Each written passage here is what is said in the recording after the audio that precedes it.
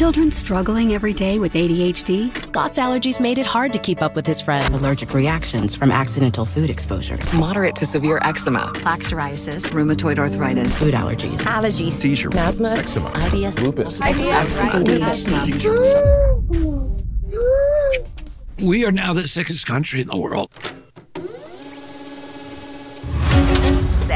Of American children is in crisis. A huge rise in chronic conditions in kids 17 and under. More than 40% of American children now have at least one chronic health condition. Autoimmune diseases like rheumatoid arthritis, juvenile diabetes, lupus, Crohn's disease, all this IBS. I had eczema, asthma, All but out. allergies, stomach issues. This is to me the one that gets me. Just a few decades ago, one in 10,000 children had autism. Today it's one in 31. ADD, ADHD, speech delay, language delay, tics, Tourette syndrome, narcolepsy, sleep disorders, ASD, autism. But there's no way in the world that these kind of rapid increases in the incidence of disease could be genetic. Genetic change takes generations, centuries to play out. What's really causing our kids of this generation to be so chronically sick? What the heck is happening?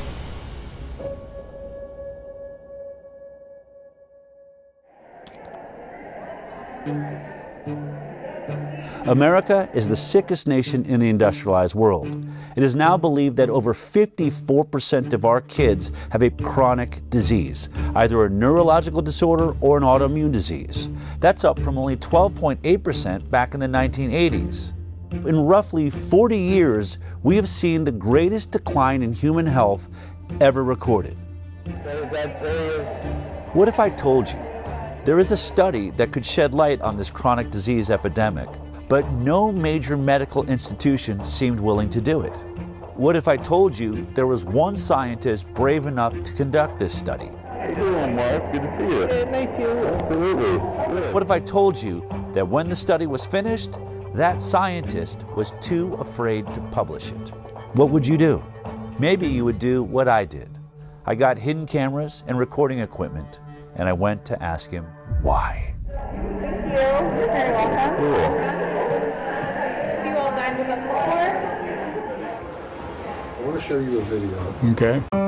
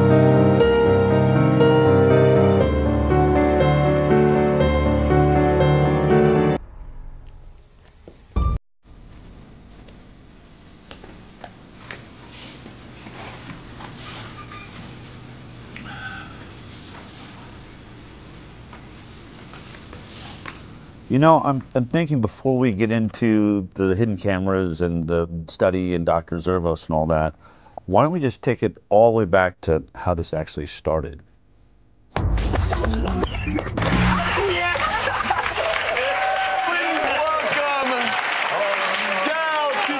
I've been a medical journalist for almost 20 years now. My first 10 years was at CBS, and the last eight years or so, I've had my internet news show called The High Wire.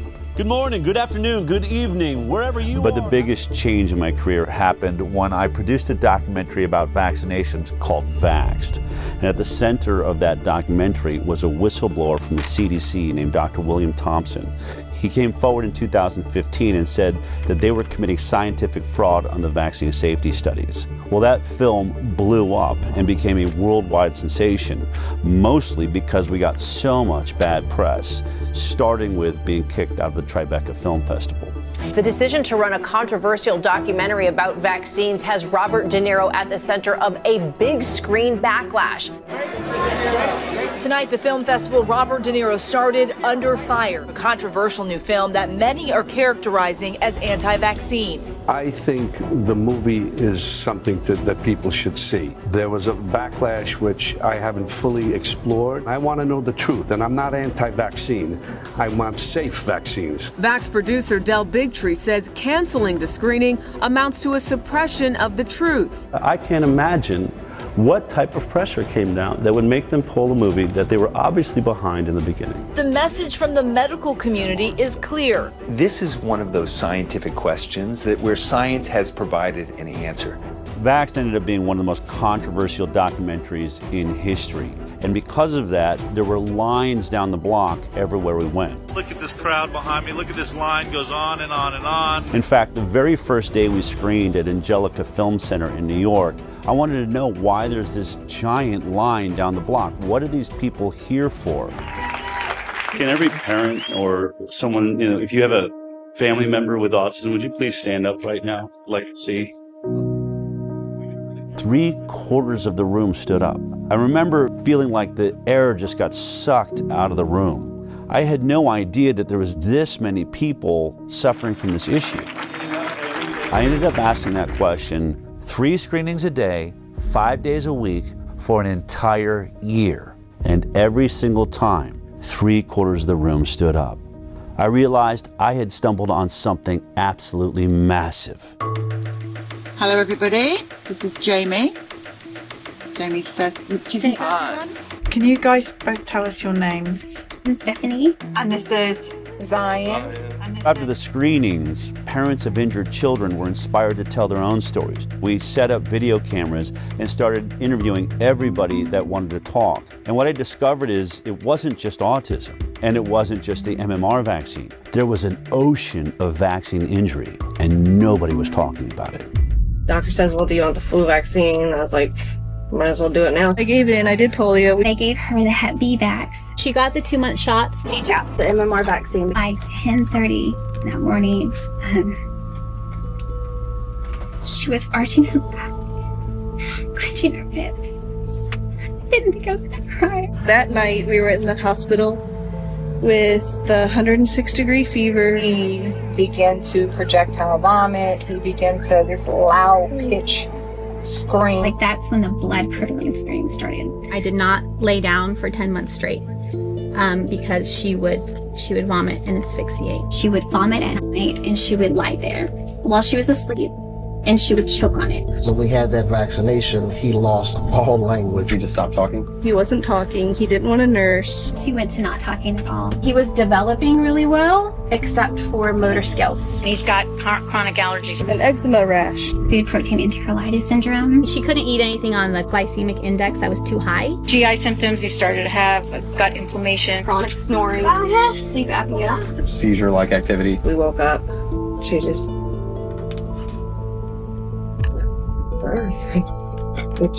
She died in your arms. Yeah. I continued to vaccinate her and make her worse and make her sicker. The guilt and the it's so overwhelming. They killed my daughter.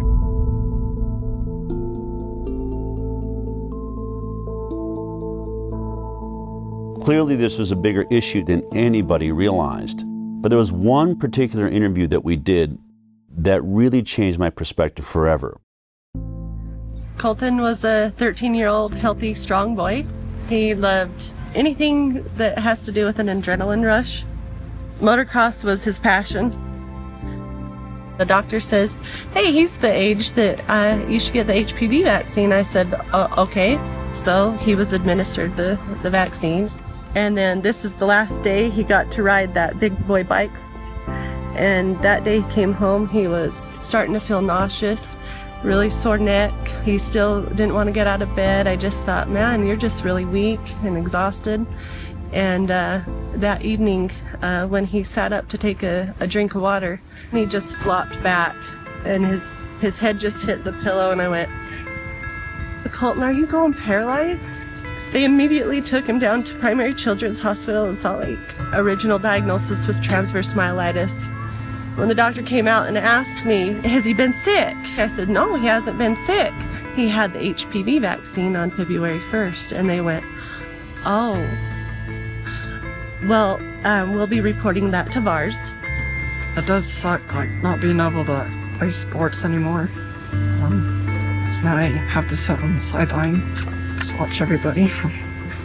gotta do your research, like, you don't, you can't just trust a doctor anymore. Do your own ways to find out what's best for you.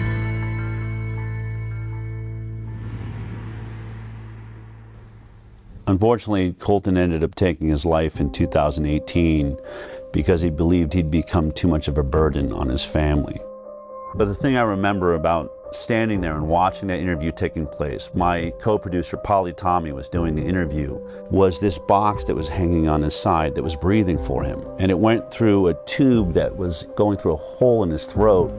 And he literally had to wait for it to fill his lungs with air before he could answer a question. So he'd go, and then he would start answering the question until he ran out of air.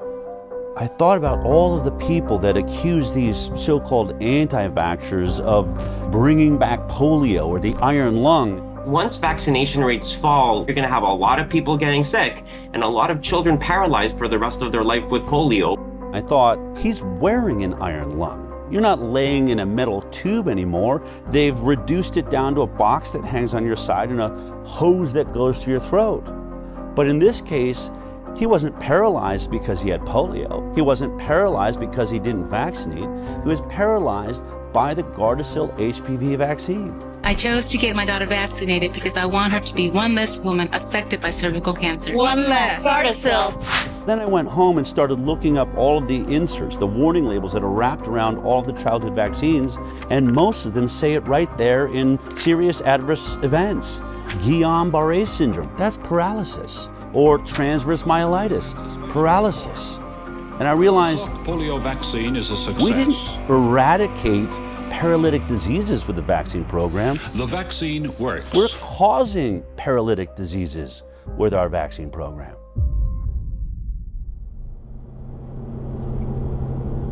So as we traveled the country, some parents would come up and say, I'm about to have a baby. I'm definitely not going to get the MMR vaccine because your movie shows that that one's dangerous. But what about the other 16 vaccines that are given in 72 doses by the time my child's 18? And I'd say, I only have anecdotal evidence from the thousands of interviews I've done that not a single childhood vaccine is safe. But that's not scientific. I wanted something better. I wanted to get to the bottom of this. So I started a nonprofit called the Informed Consent Action Network. Based on the Nuremberg Code's right to voluntary consent. The German Air Force. The ethical principle globally agreed upon in the wake of the Nazi doctors' horrifying human experiments. Of inmates in concentration camps for experimental purposes. Where it states, the voluntary consent of the human subject is absolutely essential and there should be no element of force, fraud, deceit, duress, or overreaching or other ulterior form of constraint or coercion. What I wanted to do was investigate the entire vaccine program.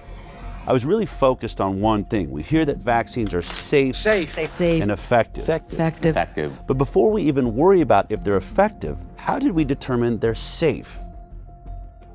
We started looking at all the science around the world, but we hit a big roadblock you can't sue a manufacturer of a vaccine. It's one of the only products in America that has what they call liability protection. The reason is because of a law that was passed in 1986 by the US government. The pharmaceutical industry basically blackmailed the government and they said, we are losing so much money from lawsuits for death and injury from our vaccines, we can't make a profit. Studies have shown that the whooping cough or pertussis vaccine causes brain damage. The controversy isn't really over the fact that it happens, but how often it happens. And they said, if you want us to continue making vaccines, you're going to have to take on the liability. And our government agreed to that. If you want to sue or you want to get any information outside of what's publicly known, you're going to have to sue the government. And that's when I realized I need a constitutional attorney. And I found a guy named Aaron Siri. Mr. Siri, you're not